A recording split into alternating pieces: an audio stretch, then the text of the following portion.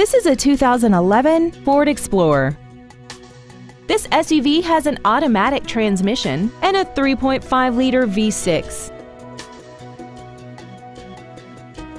Features include commercial-free satellite radio, aluminum wheels, traction control and stability control systems, a premium sound system, a leather-wrapped steering wheel with audio controls, rear curtain airbags, a power driver's seat, air conditioning, a pass-through rear seat, and this vehicle has less than 43,000 miles.